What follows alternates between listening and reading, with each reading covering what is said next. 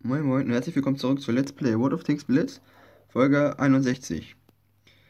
Erstmal kurzes Update. Ich habe zwei neue Panzer. Waffenträger auf Panzer 4, schreckliches Teil. Und den Centurion 7.1, noch, ein noch schrecklicheres Teil.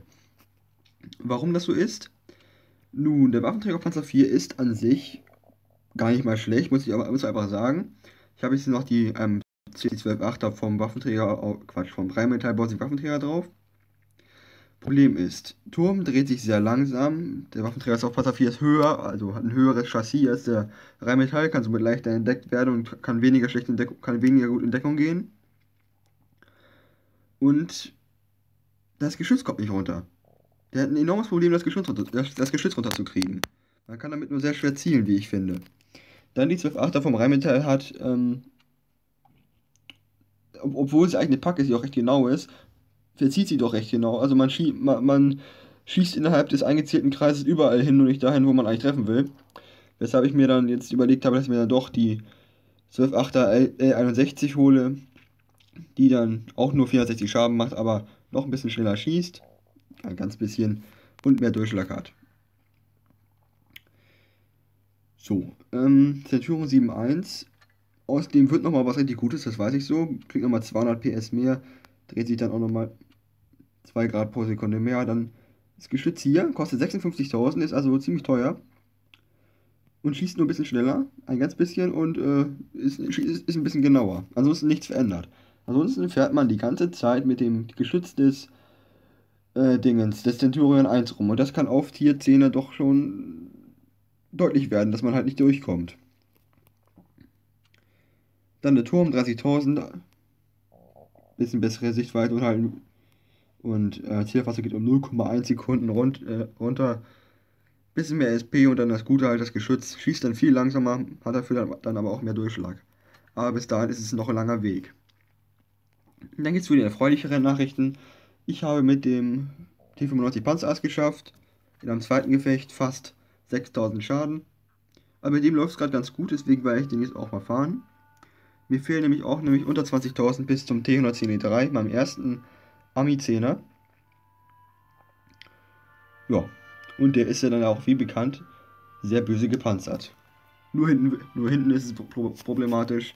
Da darf man keinen Panzer mit HE-Durchschlag hinten rankommen lassen. Ansonsten sieht es doof aus. Vor allem nicht in Todessternen. Den spielen ja sowieso alle ziemlich viel mit, mit Hash. Also HESH. Den Premium HE. Ihr wisst ja, ich lehne Premium-Munition ab, aber ich kann auch verstehen, dass man den äh, Todesstern mit, äh, mit Hash fährt. Ansonsten macht er auch keinen Spaß. Ja. Aber das, das, ist, das ist das Problem mit dem T110E3, T110E4, T110E5, allgemein alle Amiziner, die sind hinten ziemlich schwach gepanzert. Das zum Beispiel das Atomstern mit Hash, aber ich glaube auch, ich meine auch mit normalem, mit normalem HE hinten durchkommt. Und ihr wisst ja, wenn der Torstern mit einem mit HE trifft, nicht so schön. Ich merke gerade, ich äh, bin mal wieder als allerletzte.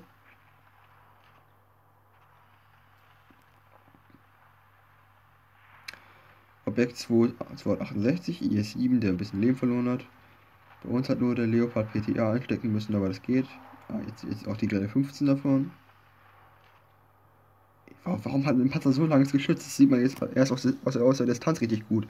Was für ein enorm langes Geschütz die haben. Okay, Kinderchen, jetzt will ich auch mal. Da hat einer Heat geschossen.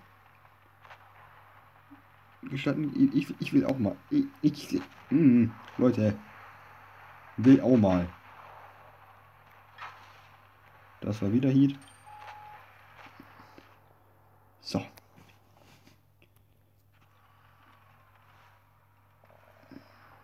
Schönes Ding. Sehr schön. Der hat ins, insgesamt auch ziemlich böse einstecken müssen. Geht er weg, Leopard! Okay. Irgendwer nimmt Basis B ein, irgend so ein Pflegel. Und nachgeladen. Ich denke, ich stelle jetzt einmal hier in Basis C rein und nehme die ein. Zumindest versuche ich es. Leopard PTR da drüben, der hat aber einen kleinen Turm drauf. Ob das, ob das jetzt zwangsläufig heißt, dass er auch ein kleines Geschütz hat, weiß ich jetzt nicht genau. Jedenfalls hat er 100 SP weniger als normal. Hallo. Sehr schön. Nun denn, da wollen wir mal. Ja, ich jetzt einmal das Objekt mit umnieten müssen. Naja, Chance vergeben. Aua, aua, langsam werden sie ja frech. Okay, das Objekt haben wir.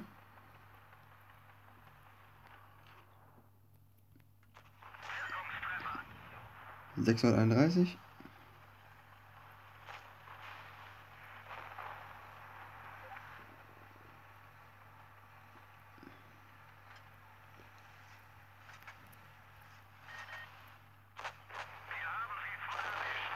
Sehr schön. Hier ist nur noch der vorhin erwähnte Leopard PTA. Ich habe keine Ahnung, obwohl, ah, der wird wahrscheinlich bei Basis A sein. Fall ist er auch in Schussreichweite. Denn er ist gerade eben am E7 hier abgeprallt.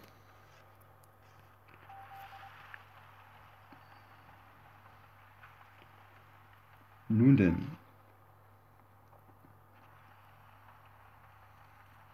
Warte, ich will mit ein, ich will mit einnehmen.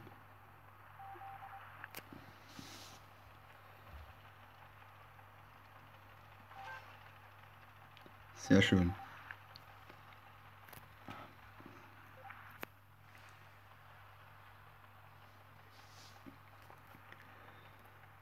Aber er ist aktuell echt unauffindbar. Wo ist er denn?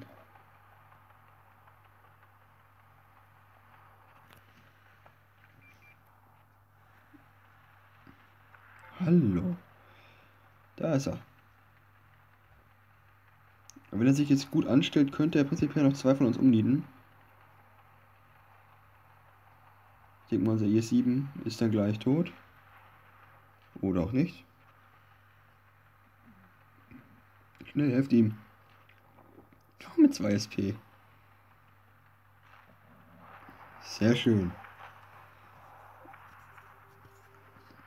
Ja, sehr schön. Zwei Basen einge eingenommen. Akzeptabel Schaden ausgeteilt. Reicht für 2154, das ist gut. Oh. Der hat hier natürlich Spartaner gekriegt. Pyromane, leider keine in Brand stecken können. Da gibt es 100.000 GD-Punkte für, was ich sehr schön finde. Ach, was ist schön ist, ich fahre normal T95. Und wir T10, yay. Torstern haben, haben die Gegner. Und der T95, das könnte mal spannend werden.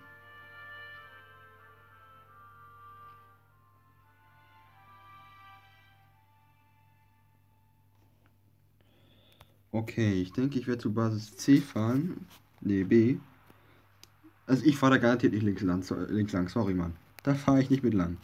Viel zu viel Hügel. Nein, nein, mein Zuständigkeitsgebiet ist die Stadt.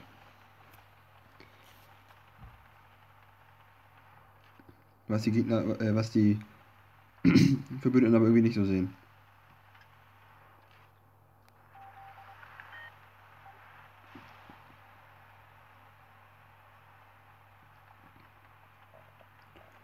Die 7 kommt mit, der Rest fährt da hinten lang.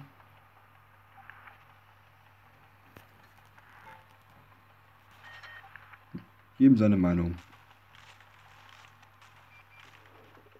Ganz ehrlich, der kann, der kann doch nicht erst von, von mir erwarten, von mir ein Panzer, der eine Höchstgeschwindigkeit von 16 hat, dass ich damit hinten rumfahre. Bis ich da angekommen bin, ist Weihnachten. Nee, nee, sorry, da kann ich meine Zeit auch besser verschwenden.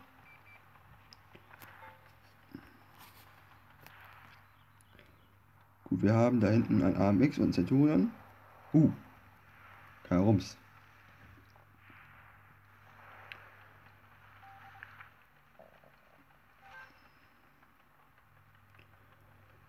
Es ist auf volles Risiko, aber ich fahre mal rüber.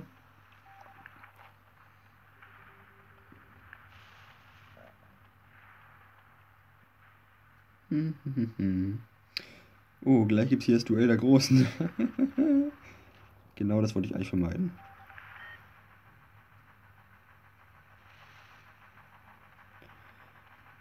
Wäre natürlich schön, könnte man den T95 beseitigen, aber hm, wir werden sehen.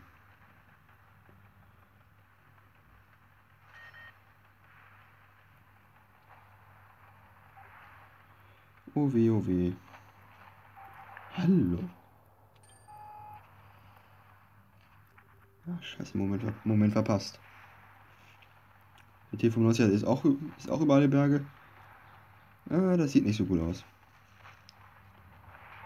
Dann gönne ich mir zumindest Basis C. Und fahre gleich ohne Scheiß rückwärts hinten hin. Nicht, dass mir der Torstand mit Hash einen innen reinschießt.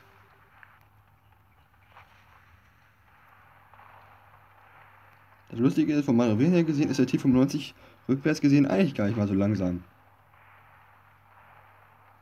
Der schafft 10 rückwärts, aber nur 13, oh, äh, egal, ich war aber nur, keine Ahnung, 15 vorwärts. Das ist irgendwie lächerlich.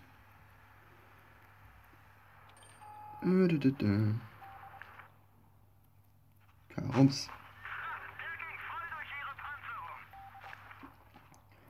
Dann darf ich mich jetzt hier wohl mit dem T95 prügeln.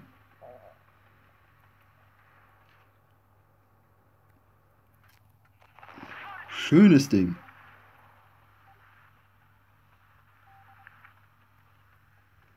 Irgendwie habe ich das Gefühl, dass der Amix was gegen mich hat. Ich wusste es. Ich wusste es, ey. Naja. Jammer wen anders voll. Zack.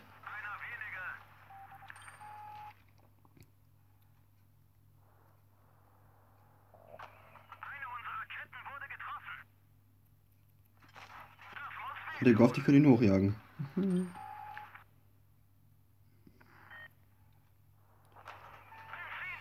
Ich soll wen anzünden, nicht, nicht, nicht du mich. Heiliges Kanonenrohr! Dreh dich, dreh dich, dreh dich, schnell! Nee, nee, nee, so gut ist dein HE-Schlag dann doch wieder nicht, ne? Mein armer Benzintank! Scheiße, Mann. Äh, aber an sich gar nicht mal so schlecht.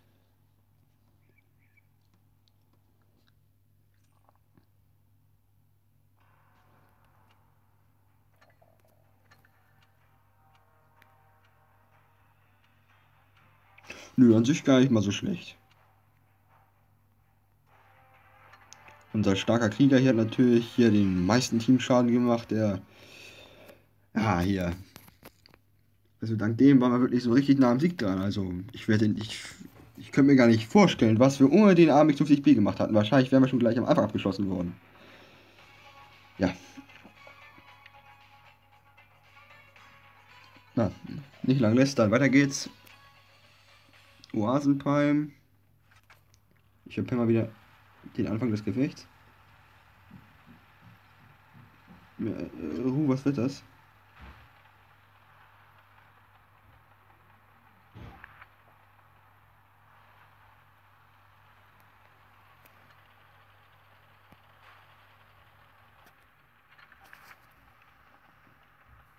Hm, danke.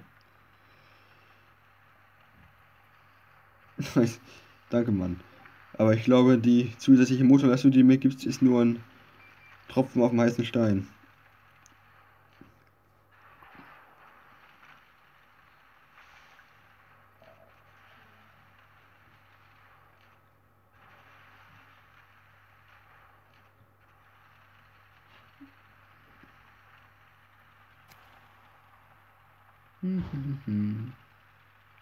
oh, Avix.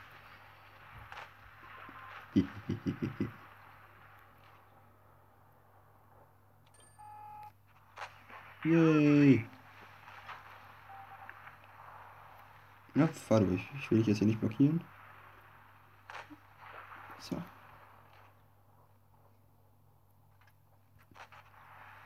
Aha. Aber ich habe sowieso daneben geschossen, also ist da jetzt auch egal.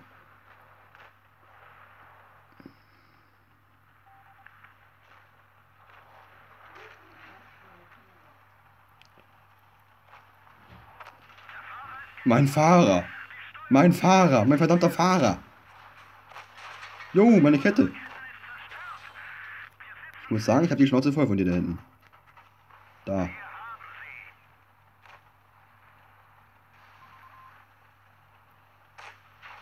Sorry, ich war schon zurück. Geh weg, geh weg, geh weg, geh weg, geh weg. Yes. Oh, Gegner von rechts.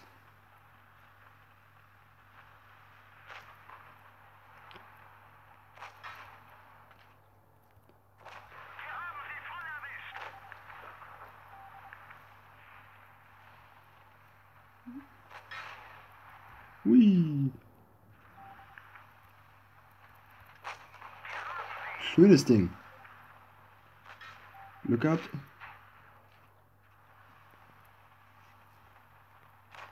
Ja, sehr schön, sehr schön, sehr schön.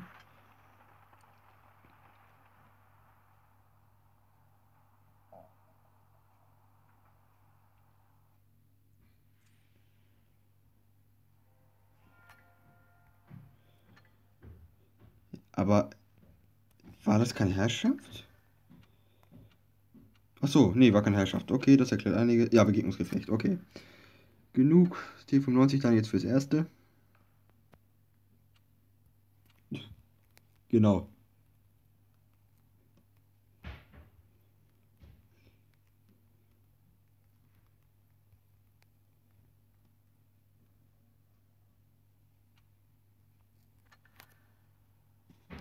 Keine weiteren Fragen.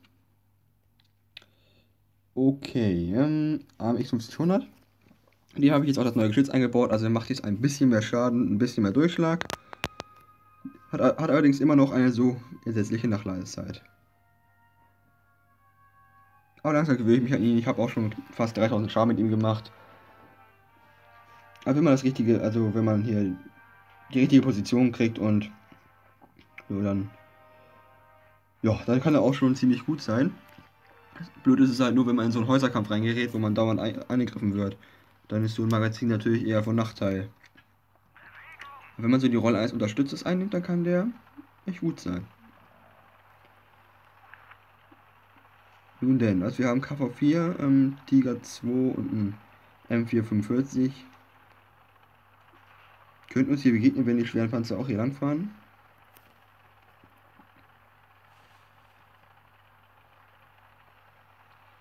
Gut, Feuer bereit. Ja, los kommt.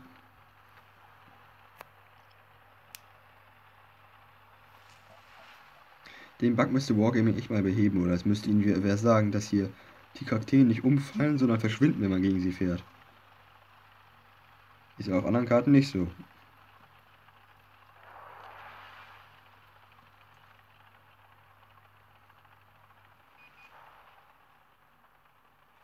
Scheiße.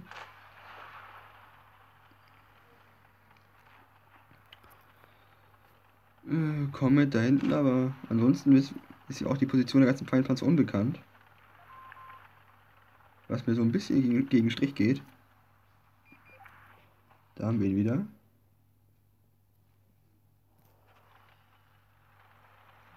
Nun ja.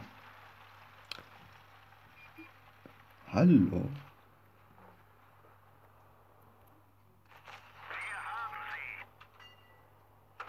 Aua.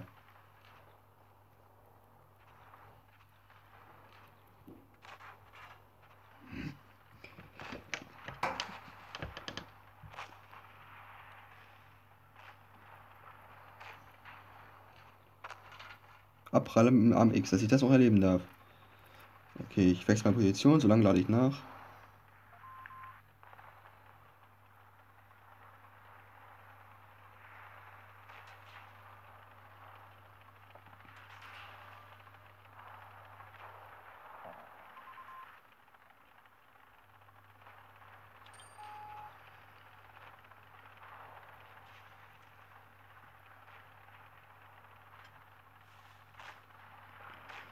Dann helfen wir mal hier hinten. Was? Was? Ist gerade passiert. Jemand soll es mir sagen. Ich weiß gerade nicht, was passiert ist. So. Ausgleich. Ein Siebener abgeschossen. Yay. Da kommt E6. Komm mal in Deckung hier. Nicht? Dann nicht. Oh, sorry, man. Schönes Ding. Er hätte mich jedoch jetzt ziemlich schuldig gefühlt, wenn er meinetwegen verfehlt hätte. Ich wollte ihm eigentlich nur was Gutes tun und, und ihn anschieben. Hallo, Tiger. Schönes Ding.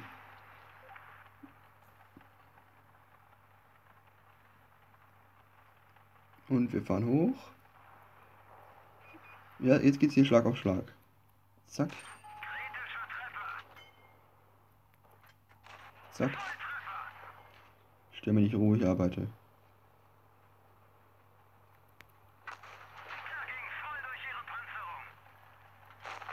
Yay.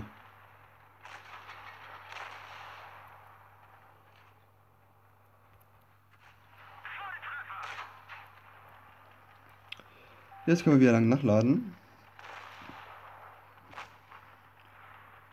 Noch 15, noch 14, noch 13.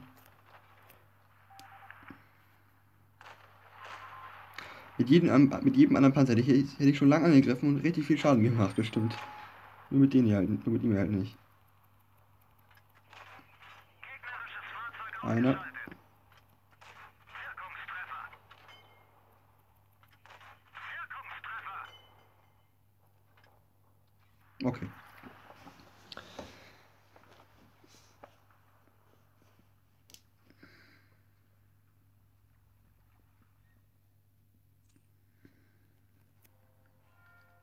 1942 ist gut, IS-6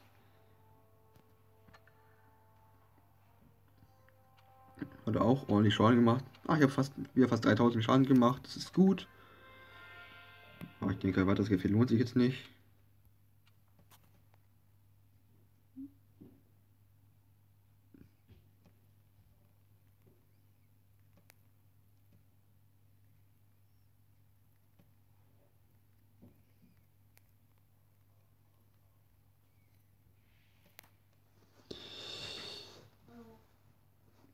Doch einen an der Marmel. Okay. Das lohnt sich dann jetzt nicht mehr. Wir sehen in einer Woche wieder mit World of Tanks Blitz. Und bis dahin, euer Grausteif Omerkralle.